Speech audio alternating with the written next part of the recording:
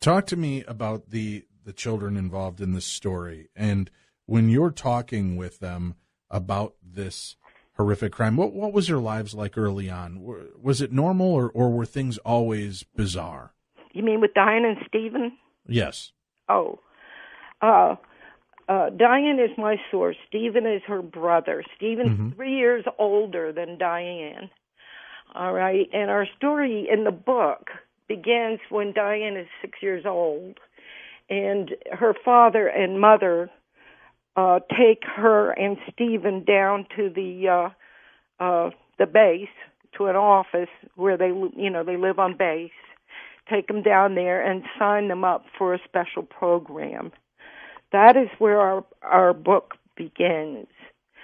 Now, in real life, we have a story that goes back generations, and it, just to not dwell on this too much, but Dianne comes from a family that has uh, shamanistic tendencies on both sides. Uh, on her father's side, one of the uh, uh, great grand uh, dams was a shaman in Sib- Siberia, a Siberian shaman, and was there when uh, the Tunguska event it happened in 1918, and a meteor wiped out her village, and she was blinded, and she had to walk and find her way to civilization after that. She had to live with reindeer, and uh, so uh, that came down, and Dianne's family, and uh, a lot of the abilities that come with that uh, would be in her genetics on her mother's side, they were Lenni Lad, I'm sorry, Lenni Lenape or Delaware Indians, and uh, great grandfather's grandmother was a uh, a shaman in uh, in that persuasion. Uh, so coming down through there, there was shape shifting. There was uh, different uh, levels of reality involved. Now we come to Dad. Dad was born in 1912 in America, in Boston, to uh, the uh, La- uh, Lithuanian parents, and then uh, was only here for three months, and then the mother took him back to Lithuania where he grew up. When he became 17, it was 1929, and he had to come back to America to keep his citizenship. This is 1929, and he was in Lithuania. So he set out on foot to find his way across Europe to come to America. He had an aunt, Magda, who was sending him money, but for him to get where he had to go, he had to walk. Walking through Poland or Germany, he came to a concentration camp, and he approached the camp and was socializing with a girl on the other side of the fence when the guards came and caught him. They gave him a choice which side of the fence he wanted to be on. And the people inside the fence were prisoners and outside were the guards, and he chose to stay with the guards. So from then on, he was a collaborator with the Nazis. This is before he was 17 he he would tell these stories to his wife while the children would just have to uh you know eavesdrop. This is how dianne learned these things.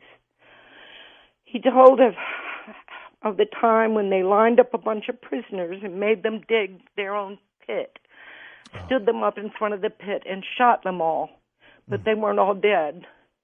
And the commander said he didn't want to waste any more bullets so he gave Silvestras a knife and told him to slit the throats of the dying in the pits. And when he was done, he was covered with blood, and he told his wife, he said, I prayed if there was a God that I wouldn't wake up in the morning. And then when he did wake up, he said he knew there was no God. How horrific. So, bringing this kind of a background, he came to the United States and went to New York and became a butcher. And uh, then he went to work for the uh, uh, CCC, which was Civilian Conservation Corps, which started in 1933. He went in the Army for two years, did a st- uh, stretch, and got out.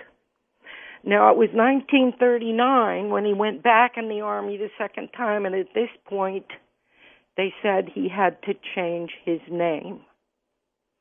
His Lithuanian name was Silvestras Griekshell. At the time he reenlisted in 1939, they said it had to be Stephen Griggs. He changed and uh, went to work in the Army as a cook and married mom. And wh- why was the name change so important? Well, he needed to be more American now. Okay. Uh, and uh, to you know flash forward about a million years uh, and debriefing after he was dead and everything with the uh, FBI people, it was revealed to Dianne and Steven that he had a very complicated uh, uh, dossier uh, suitable for a double agent with his uh, dual citizenship. So that is his deep background, and that places him there in the army. Uh, our story, when our our, our story begins, uh, Dianne is six. They're living in Fort Devens. And this starts to take a very bizarre twist. And I mean, when we talk about bizarre, they, you, you start to hear the story, and you're you're reading through these notes and and hearing from her directly. At, at any point, do you just say, "There's this just cannot be true. This there's no way this kind of depravity and weirdness so could be hold real." that hold that thought. Okay. Dave, and and focus on that, and imagine being treated that way, and that's what I call the true horror of this story. We have to take a break, and we'll come back after the top of the hour. We have a whole nother hour with our guest, Good Little Soldiers, a memoir of true horror.